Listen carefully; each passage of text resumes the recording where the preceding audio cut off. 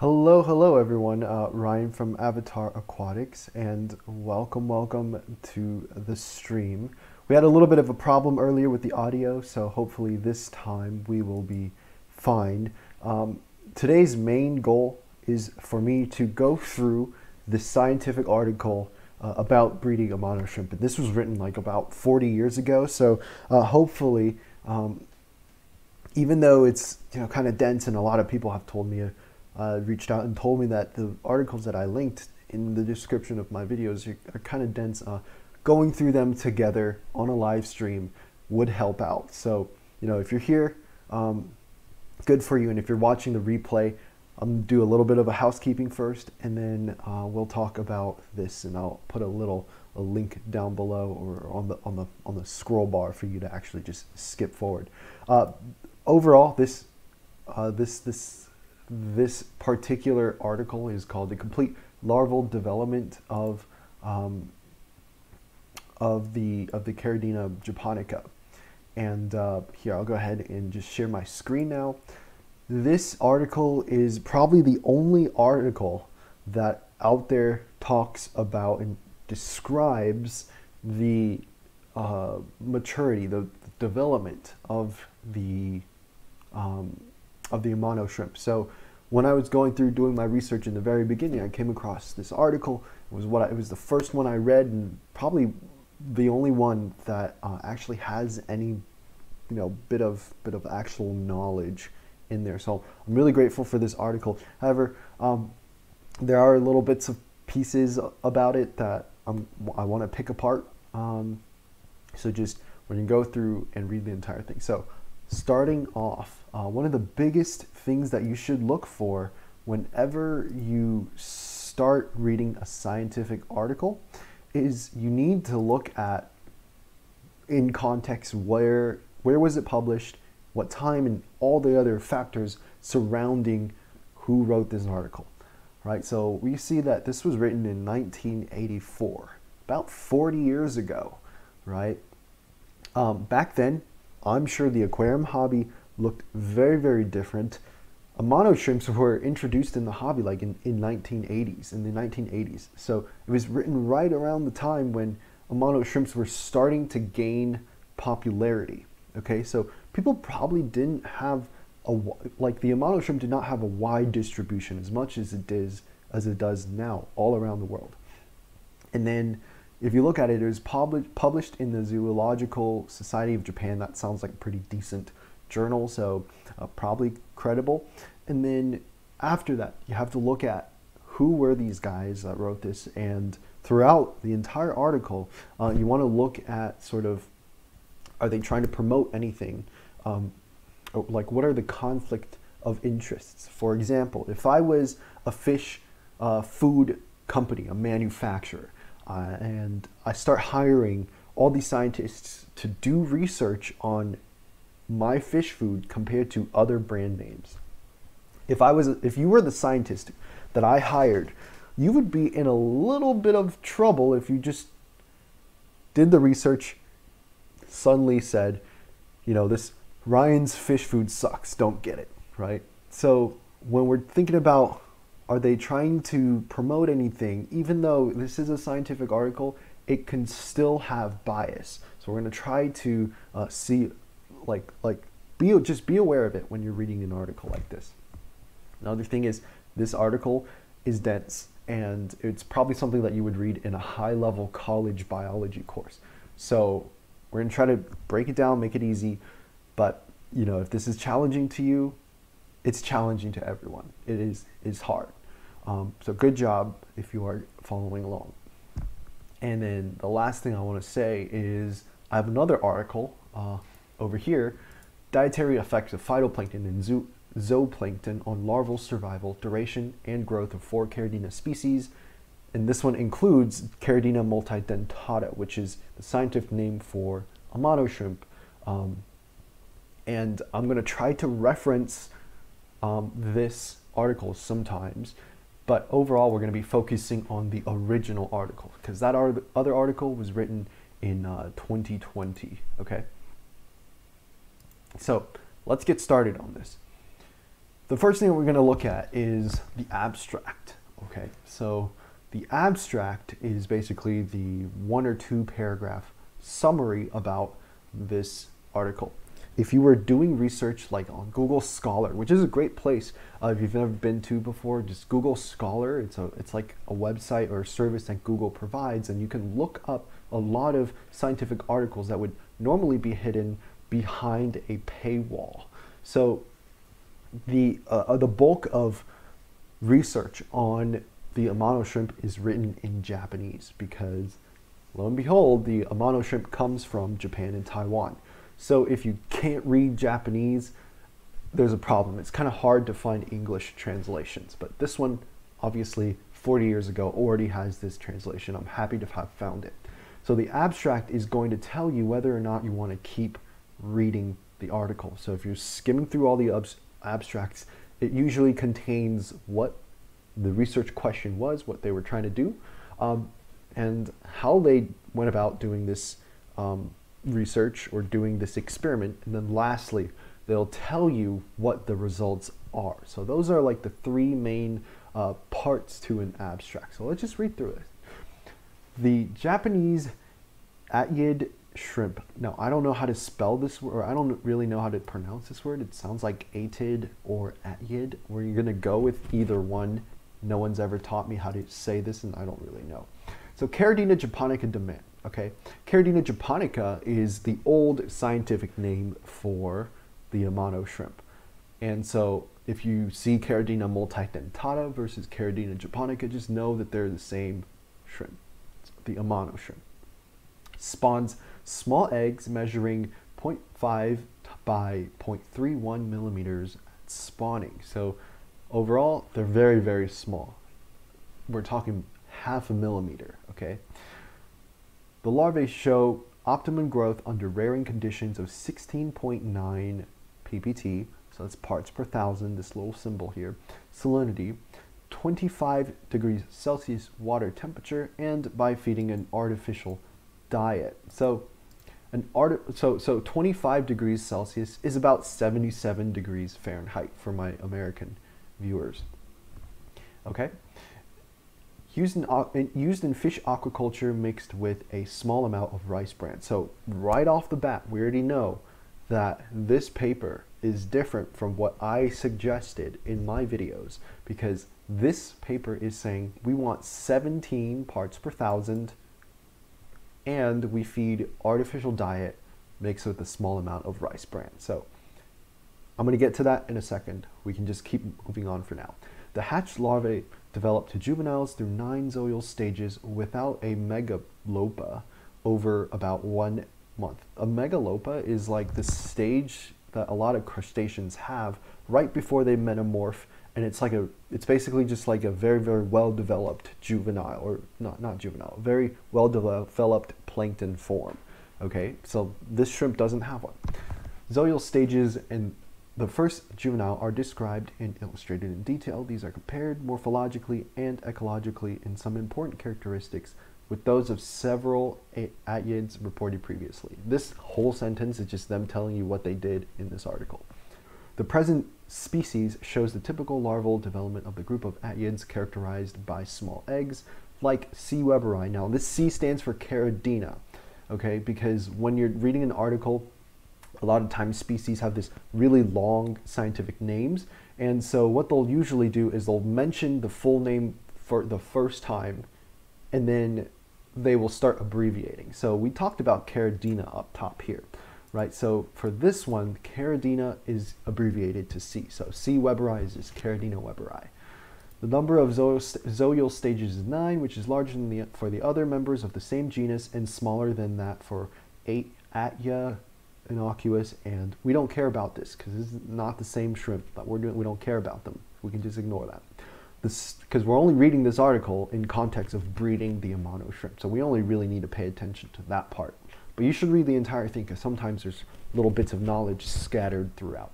The stalked eye appear in the second zoeal stage as in almost all atyids bearing small or medium-sized eggs. On my, I think on my full presentation video, we talked about this. Stalked eyes appear in the second stage, and that's how you're going to be able to tell that your shrimp are starting to uh, molt. The first periopod is completed morphologically in the third stage and all periopods in the seventh stage. This word here, when you're reading a scientific article like this, and if you're not super good with shrimp anatomy, which I am not, you should just highlight it, Google it, learn about it, okay? It's, there's nothing wrong with just Googling something. I happen to know that this word means the walking legs on the shrimp, okay? The walking legs, like the, the front ones that they walk on, not the swimmerets in the back, because those are those are different. Those are those are pleopods. But periopod is the walking legs. So the first pair of walking legs are completed in the third stage.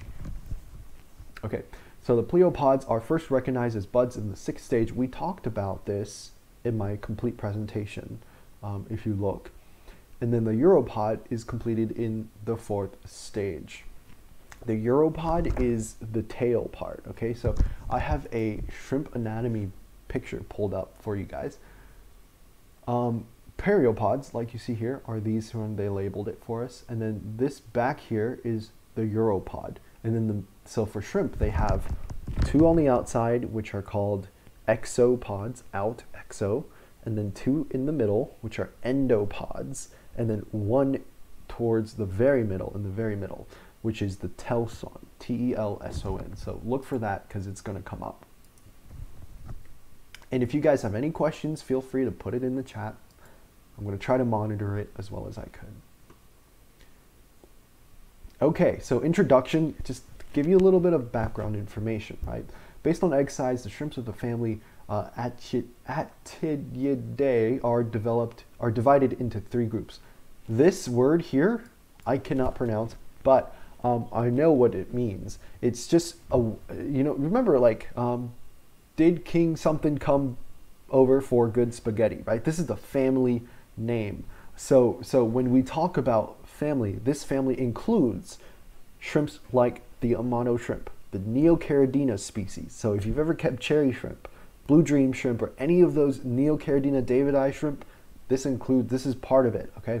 And then also your bamboo shrimps. The bamboo shrimps are the ones with the fan with the fan hands that like to sit in the current and grab stuff out of and eat it like that. So all these shrimps fall under this family.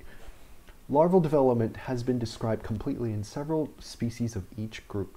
The larva, larvae of the large egg are treated by Shen, blah, blah, blah, blah, blah, some random authors who's done that before. And those of the medium eggs by some more random authors. On the other hand, blah, blah, blah, all these guys describe the larvae of the small egg group. Caridina multidentata falls under this last group here, okay? So although Hunt did not mention the egg sizes of all these other all the all these other shrimps, these two species probably belong to the small egg group because the hatched larvae are small and there are many zoial stages. In general, the large egg atyids usually have a landlocked life cycle. We know this, right? This is, remember, this paper was written 40 years ago. So were, were Neocaridina that popular 40 years ago? Probably not. Probably not. In general, the large egg atyids usually have a landlocked life cycle. They're just saying that Neocaridina are freshwater only. They're landlocked only freshwater, which we know to be true, and spawn a comparative small number of eggs which show direct development. By contrast, small egg species have numerous eggs and complex larval stages of long duration which require saline media for development. If you've ever kept Neocaridina fish or shrimps, you know that when the females become berried, they lay probably anywhere from like 25 to 50, 60 eggs at a time. For Amano shrimp, we're talking thousands, hundreds and thousands of eggs at a time. That's what they're saying. And they're saying that the, the smaller the egg, the more likely it is for them, for the, for the shrimp to require a saltwater phase in their life cycle. Okay, that's just their introduction, this broad general statement. The Japanese Atyid, Caridina japonica De Man, belongs to the small egg group and occurs naturally in the upper part of rivers in southern Japan and Taiwan. We talked about this. I got this information from this paper. That's why I cited it. Therefore, the likelihood of long development time in the larval stages has been predicted previously. So just by knowing this, that knowing that these shrimp live at the upper parts of rivers, we know that when the female releases the actual larvae, okay, they have to float down in fresh water towards the ocean. This means that the first stage, right after they hatch out from the egg, has to be able to go from fresh water to salt water. So if you were doing this from the very beginning, you had no idea, you would know that number one, you do not put the females in salt water. A lot of times, I, I, I look, I, I've browsed through a lot of forums about breeding the Amano shrimp, um, especially when I was starting out. And a lot of people are saying you put the female in salt water. Okay, that is not true. And this statement should tell you that. The general characteristics of the larvae of this species are discussed in relation to the Aeid group. We don't really care about that. We just care about the spawning and the breeding. You can read about it, but I'm not going to talk about it during stream because that's going to take us another three hours. And um, I'm sure you guys have better things to do on a Wednesday night. Oh, where I go? Okay, specimens are captured during August 1979 and May 1981 from the Shiwagi River. I was not born back then, okay, um, and I don't really know where this is in Japan, so we can just skip that. Doesn't really matter for us. We just care about the water conditions. Measurements and counts were made of eggs from ovigerous. This means females who are egg bound or ready to lay eggs or already eggs we can probably get, uh, I'm going to Google this because I'm not 100% sure. Bearing or modified for the purpose of bearing eggs. Okay, so probably already berried females. Preserved in 10% neutral formalin, just a preservative, using a binocular microscope with an ocular grid. A binocular microscope has two um, little, two eye sights. And an ocular grid just basically helps you measure things, okay? And then the, these are preserved, okay? so so so so the eggs get preserved in this formalin. Formalin. Let's talk about the rearing conditions because that's that's what the next part is, right? Females were reared with males in aerated aquaria under the following conditions: water temperature 20 plus or minus one degrees Celsius. I think that's about 68 degrees Fahrenheit. Surface lumen, uh, 1400 lux. That's that's just a measurement of light. Okay, in photoperiod, 14 light, 10 dark. So basically, the light cycle is 14 hours of light, 10 hours of darkness every day.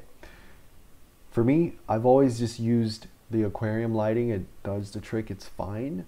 Um, however, I will say the the Amano shrimps tend not to become berried during the winter. Um, even though you feed the same, everything's the same, they just don't develop eggs for me. You know, I have a heater on it at around 75. I have the lights going on, but I guess with the way the, the light cycle is, the females just don't don't develop eggs. And then as soon as it got warmer, for some reason they just start developing eggs again. So I'm not sure if this 14 light, 10 dark cycle is uh, going to trigger them, but I know that this 14 light, 10 dark cycle is about how much sun a summer day gets, okay? So daily feeding employed an artificial diet for the IU, AU, Plecoglossus, I don't know what this is. It sounds like a fish, so we're just going to Google it. So it looks like it's a fish. And so what they're saying is an artificial diet, like fish food, made by this Nippay Shrimp Feed Incorporated in Japan. I don't know what this com- company is, and since this paper was written 40 years ago, I don't know if they're still around. Nor does it really matter, because um, you know model should readily become berried as long as you have the the daylight cycle right. You feed well in your aquarium. After pre-mating ecdysis and copulation, this just means this word here just means molt. So pre-mating molt. We all we, we know at this we should know at this point that Amano shrimps and, and even Neocaridina, when they when the females molt, they then hide and release pheromones. The shrimp, the male shrimps go crazy, and then they find the female and mate with the female. So after this whole thing happens, a female with newly attached eggs where am I? I lost my, okay. Was placed alone in 100 mils, which is one liter, beaker under the aquarium conditions specified above. So we already talked about the aquarium conditions we talked um, above, and it's basically just all this stuff right here. Within 24 hours of hatching, the larvae were individually separated into 100 ml beakers maintained without aeration at 25 degrees Celsius plus or minus one, uh, uh, a thousand, sorry, not a thousand four hundred lux, 14 light day, uh, 10 dark cycles. So between this sentence here and this sentence, they're, they're basically saying that, okay, we had the berried females, we separated the berried females, and then we just kept them in these conditions until they gave birth. They don't tell us how long it takes for this to happen, right? So you kind of have to, like, there's information in here that the researchers did not think was necessary to their project. However, our project is we want to breed these shrimps.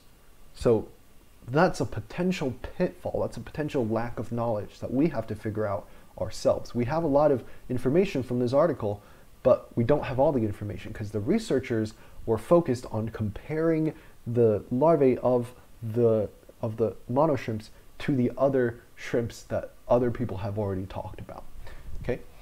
So within 24 hours of hatching, the larvae were individually separated. So they did not have aeration in these beakers, and we know that the temperature compared to up above where the adults were kept was higher. So earlier I said about 68 degrees Fahrenheit. Now we're at 25 Celsius, which is about 77 degrees Fahrenheit. Same light, same night day cycle.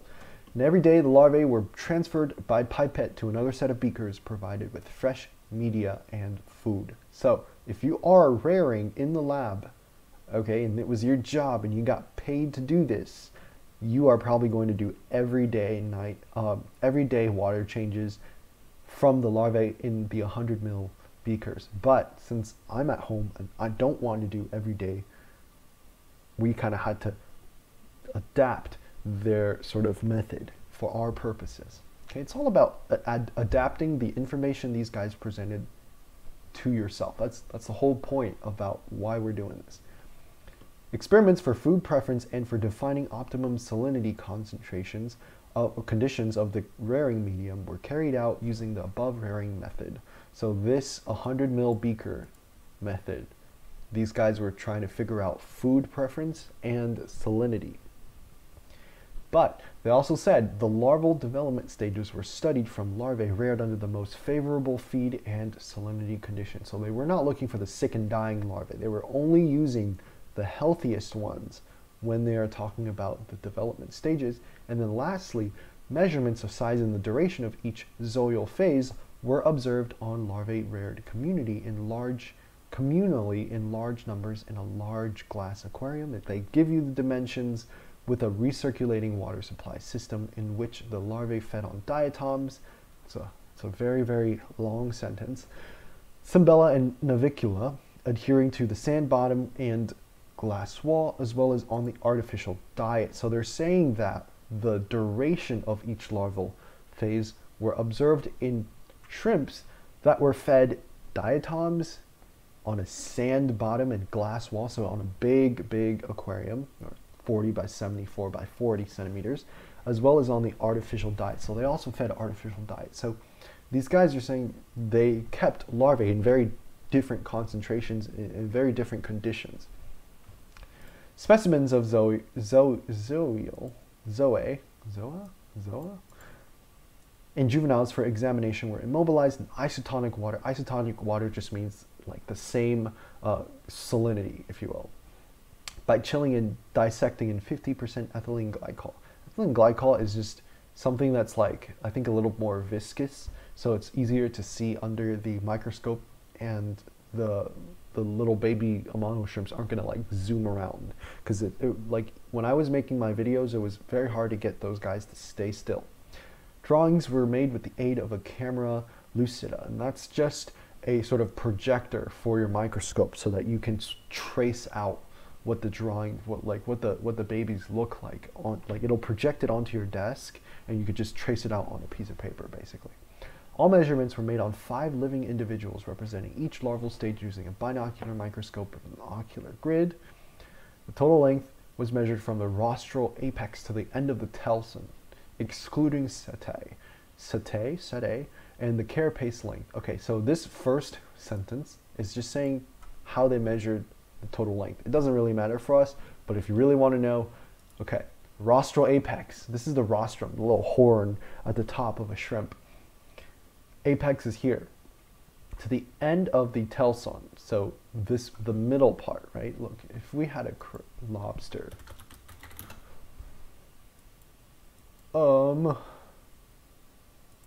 because maybe we could look at this one. The telson is this middle part here, okay?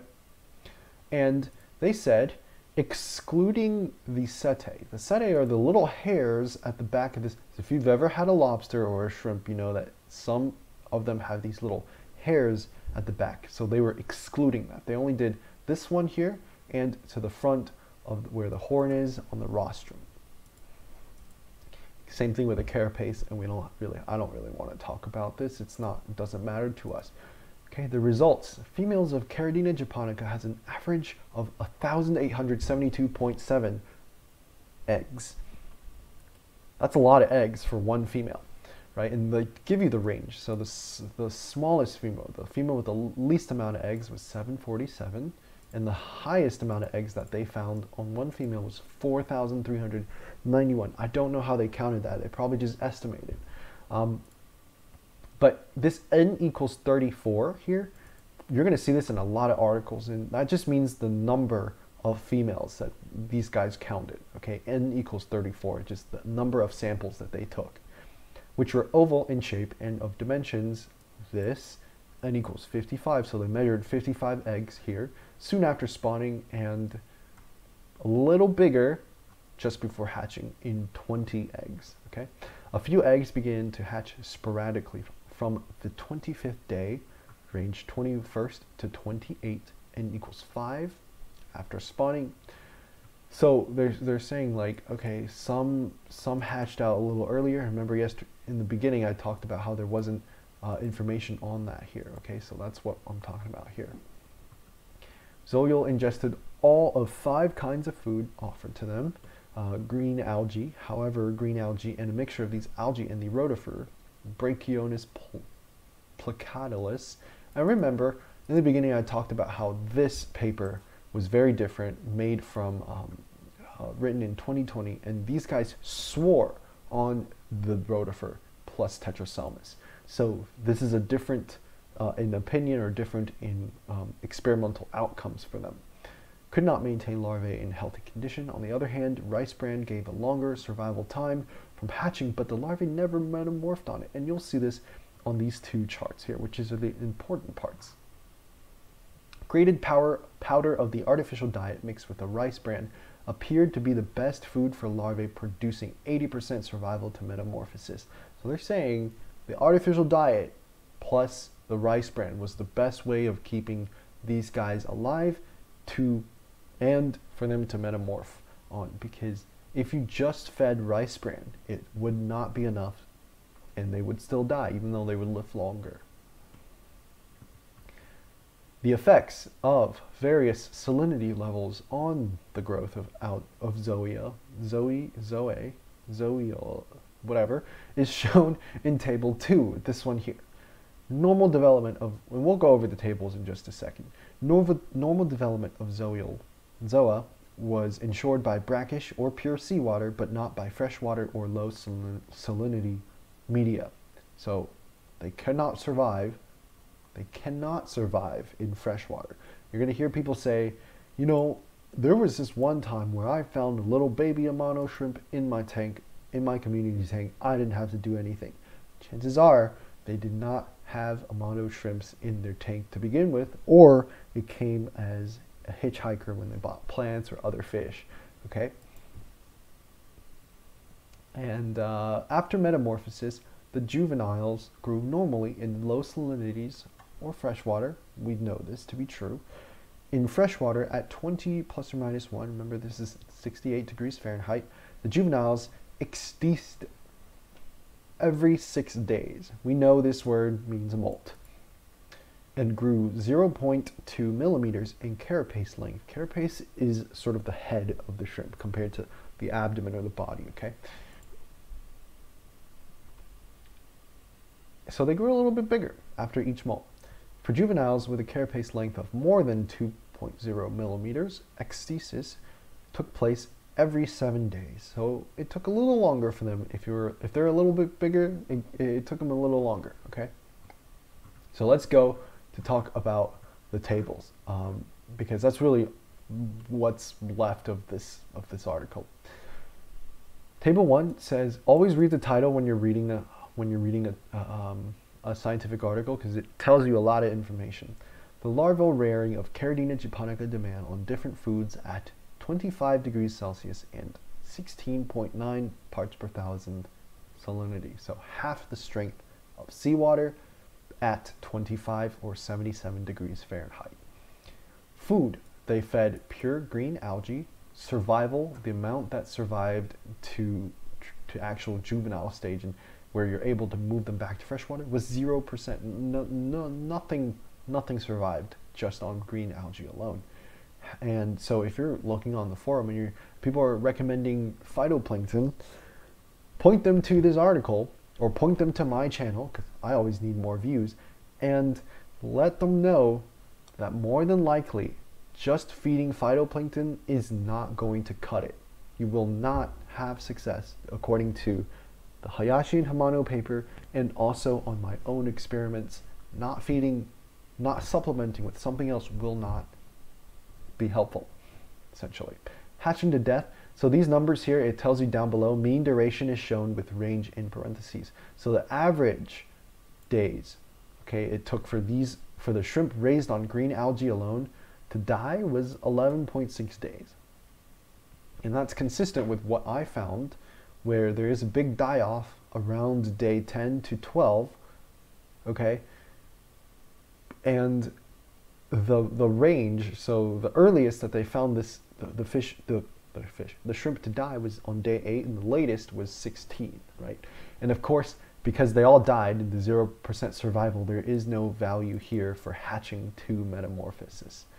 On rotifers with green algae. So what this whole paper is saying, okay, this other paper is saying, survival they found was zero percent and it only took them eight days to, to die, okay, with a range of 6 to 11.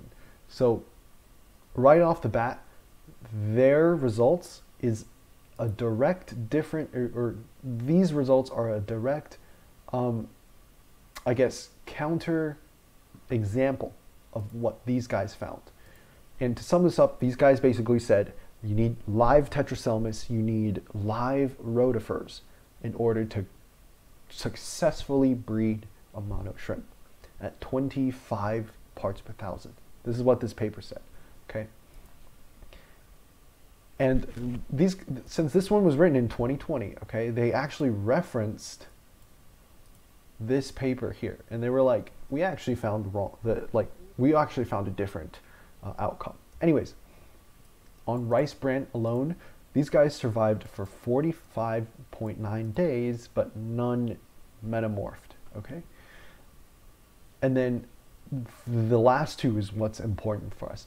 Artificial diet for ayu culture, so artificial fish food, 50% survived to metamorphosis, okay? With a hatching to death. So around day 19, some of them started dying. And then hatching to metamorphosis. On the 36th day, these guys on average, started to metamorph into juvenile shrimp. And the reason for that, I'm willing to bet, is because this artificial diet contains more nutrition, more amino acids, more lipids, more fat, more carbohydrates than these option alone. Okay, it's a more complete diet, and that's why we supplement with with um, with artificial foods. So my method was to use Tetraselmis, green algae, get them past that initial part where they're only able to eat these green algae, And then, as they get bigger and they're able to hunt and scavenge for more nutritious foods, you start feeding them artificial diets. You know, you could grind it up in a mortar and pestle. Just you could, or you could feed Hikari first bites or another very very small golden pearls, micron, whatever it's called. Get them the nutrition that they need to metamorph. And an artificial diet with rice bran. Again, we're varying the amount of nutrition and the type of nutrition because by feeding more types of food, you're giving them a, a more complete nutritional profile. This is going to be um, true 80 90% of the time. And so by giving them more nutrition, 80% survived to metamorphosis. Hatching to death, some of them died on 8 point, day 8.5, but these guys you'll notice also metamorphed earlier than just being on the artificial diet alone. So this chart should tell you that you need more than just green algae. Number two, you need more than just feed. Oh, okay, okay. The, the second thing is you need to feed artificial diets. Now, this artificial diet is kind of tricky because if we go back up to here, don't worry, I'm not going to read it again, but if we go up, we know that these guys were doing a, water change every single day, and they would only pipette out the little babies and transfer them, transfer them to new media and new food. We're not going to be able to do that unless you really want to in a hobbyist setup. So we need a filter, we need a larger tank, but we still need to make sure that their environment is clean and they have fresh food every single day. So then let's talk about the salinity. I think this is this paper is the reason why a lot of people say we need brackish water. And you know, I was talking to one of my subscribers and he had success with 17 parts per thousand, but the ones that were developing in 35 parts per thousand grew faster. And they were out of that saltwater phase faster than the 17 parts per thousand ones. So when you are, you know, the, the, saltwater stage is always a little bit tricky. It's a little shaky for everyone. So for me, I want to sort of um, decrease that time, shrink that time down to as little time in the saltwater as possible, which is why I'm using 35 parts per thousand. So let's talk about this table. It's very similar to the other one. Salinity, zero parts per thousand, no one made it. 8.5 parts per thousand, no one made it. At 16.9, which is 17 parts per thousand, 66% survived. Okay, and uh, about 27 days until they started dying on average, and then 33 days to metamorph out. Salinity 25-ish, um, 11% survived to metamorphosis. Took them 31 days. So you'll see that as we increase the salinity, the hatching to metamorphosis time decreases, right? It went from 33 days to metamorph to 31 to 26. So for me, I chose 35 to decrease that time and also because it just worked better for me than 17. When I first saw, saw this one, I was like, okay, so it looks like 17 days is the time, or 17 parts per thousand is the way to go. But when I tried, 17 parts per thousand killed all of my Amano shrimps. So it's, it's you know, maybe things were different 40 years ago, or maybe um, we have different species now, but for me, at least, 35 is the way to go, and that's why I recommend people start with two containers, different salinities, and then figure out which one is better for them. We already talked about this. After metamorphosis, the juveniles grew normally in low salinities or freshwaters. They didn't tell us anything about transferring them, acclimating them. So I had to figure that part out myself.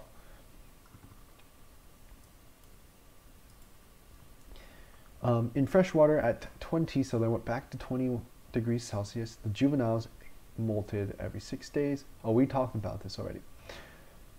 So description of larvae, and then we could just end it there because if you want to go ahead and read through all of the nine different stages you can, but I'm not going to have time to do that on the stream here, but just to show you, these guys have really, really nice pictures.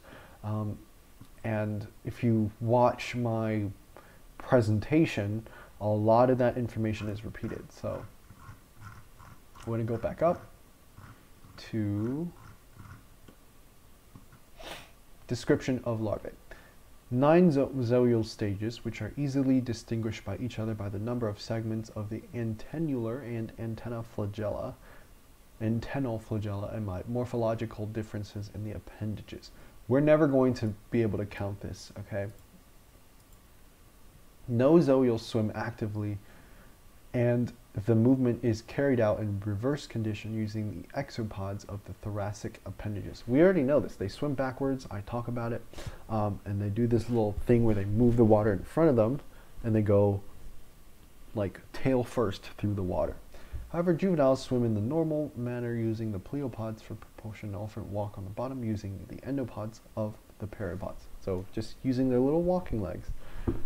The fact that no zoeal swim or zoa stayed swim actively is very tough to get right because we need to keep the keep the bottom very very clean if these guys don't swim actively. If they're always hanging out on the bottom, they're going to get attacked by bacteria. And I talk about this a lot in my presentation. But overall, that's what this paper is saying. Um, the most important thing is down here in the charts itself. A, a, little bit of advice when you read through a research article and they start citing all of the things, sort of scroll down to the very bottom. I'm sorry this hurts your eyes. Where they start referencing different or other things. Because a lot of times, um, there are going to be even more articles for you to read down in the references that are related. And then also, if you go to the um, discussion, okay, if you read through the discussion, it usually puts their experiment in context with other experiments that have been done before them and sort of explains like why is this important? Why did we do this experiment? Okay. So reading the discussion is really, really helpful. And um, um, um, um, that's about it. Basically, for this one, it's just saying that 17 parts per thousand feeding artificial diet plus rice bran. Okay, um, and back to the other article, we're not going to have time to go through this entire thing, but if I were to show you, these guys did three different types of shrimp. Okay, the Caridina multidentata, which is the Amano shrimp, the Caridina rostris. I've never even heard of that shrimp, and then Caridina typus, which is the Australian Amano shrimp that I talked about a little bit. essentially, they're all very similar. Um, Caridina multidentata seems to be one that doesn't really feed in the beginning. However, like I said in my presentations, there is varying degrees of that, at least for what I found. What I found. And you know, we talked about preserved.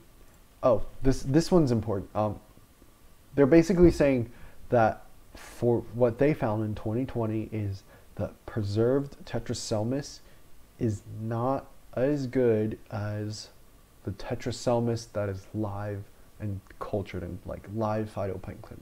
So that's why I linked live Tetraselmis in the in the in the description below.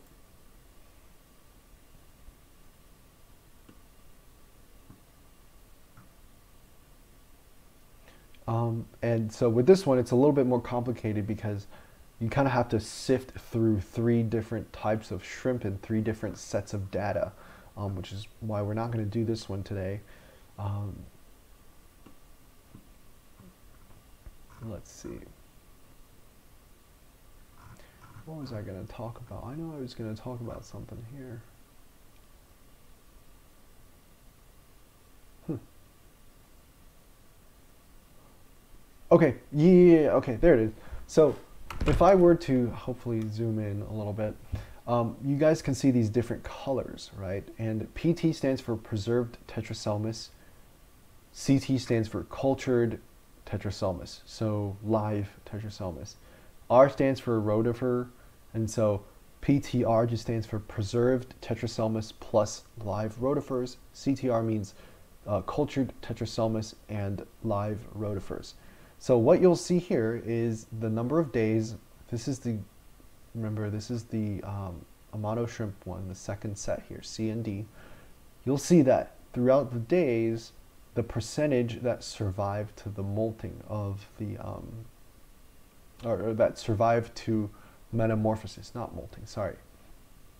The highest one, okay, is is the purple. And if we look down to here, we know purple is cultured tetraselmis, so live phytoplankton plus rotifers. So after looking at this paper, I was like, hmm, maybe I need live rotifers. Well, the, the problem with rotifers is number one, it's another investment, more uh, places to, you have to culture the rotifers. And also, if you accidentally, okay, if you accidentally get even one single rotifer in your phytoplankton batch, you're done for because the phytoplankton, the rotifer will eat, eat, eat, and it will reproduce, clone itself, and within one or two weeks, you're going to have a bunch of rotifers and zero phytoplankton. So do not ever, if you're if you're looking like you can try rotifers if you want, but there is no reason for you to do that. At least not for Amano shrimp. You you do it through the graded artificial food powder food, Hikari First Bites. We're in the 20, we're 2021. We have a lot of different options for us now. We don't have to, we don't have to do rotifers. The reason why they did rotifers is because these guys were trying to figure out things that are available to the shrimp in nature. Right? No one's going out and feeding Hikari First Bites, uh, throwing that in the ocean, right? But artificial diet is, is better. We know this from the other paper. Hayashi et Hamada. In this paper, they also said, look, like the only the only ones that have survival rates that are higher than zero. So this orange reddish one is about 10% survival, and that's on the cultured tetraselmis alone, right? Which is very similar to what Hayashi and Hamano found. Only green algae is a very low survival rate. But as soon as you add something else to that green algae, add another type of food, your survival rate increases by a lot. Like, like this is up to about 70% survival rate. So that's why my recommendation for you is to use green algae in the very beginning because that's one of the only things that these guys will eat. Green algae plus artificial food once they get a little bit older and that's going to give you the best result. So I'm going to go ahead and um, go back to my webcam. I hope you guys enjoyed this um, this whole live stream where we read all about the um, the, the, the, the hard nitty gritty things. If you guys have any questions, please, please let me know. Uh, I would be happy to answer them and uh, if you want to read over these articles yourself, you're more than welcome to. And the and the link of that is in the description of my um, of my of my breeding presentation. I'll also put that down in this one um, once once we finish this this uh, this live stream. Another thing that I wanted to update you on was my German blue rams, and um, it seems like the my favorite fish, the rummynose tetras and the cardinals, um, are getting really really fat when I'm conditioning the German blue rams because they're all in the same they're all in the same tank. So, you know, maybe that means I can spawn the other fish but for now, um, you know, I'm looking at the cardinal tetras, and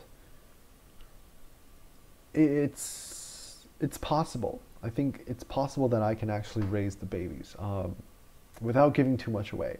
It's possible that I can raise the babies.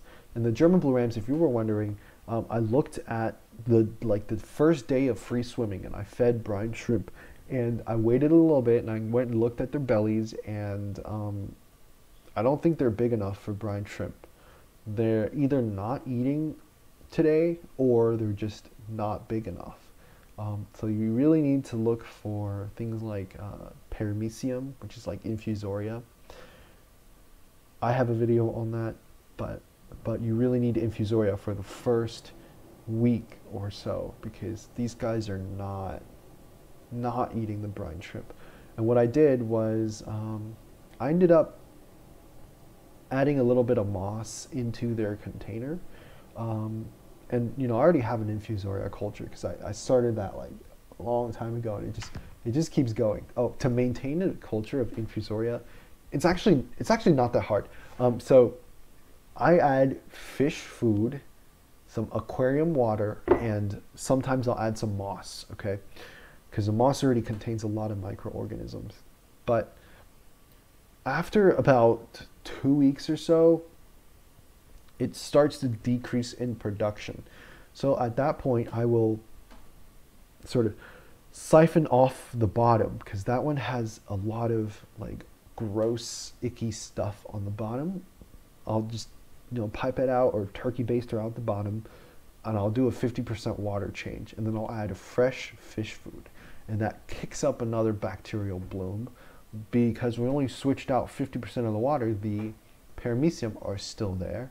So then we have a like a fast track way of getting more paramecium. And then once you do that it's very easy to subculture it into another cup so I'll, I'll have one that's a mature one one that's developing and that way I can you know seed or inoculate the developing one with uh, paramecium from the mature culture. And so throughout the winter, I just kept doing that back and forth.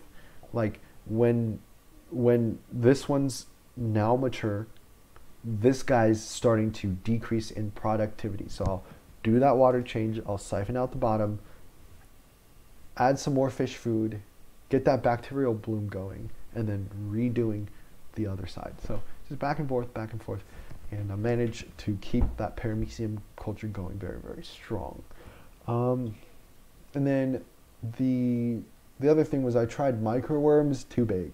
Don't even don't even try that uh, first day. Always, I think at least for German blue rams, can add a little bit of baby brine shrimp, see if they'll take it. But the most um, probably the most useful one is going to be uh, paramecium or any type of infusoria and if you don't have any of that, add a little bit of moss to your culture. Don't add fish food. You do not want to make an infusoria culture um, in the one in your in your German blue rams. But but but yeah, that's that's how I'm going to feed him for the first week or so. And then um, I don't think I don't think there's like anything else pressing that I wanted to tell you guys about. So I'm probably going to go ahead and end the stream now it's been 50 some minutes, which I think is a good time to end the, the, the stream. So I'll see you guys.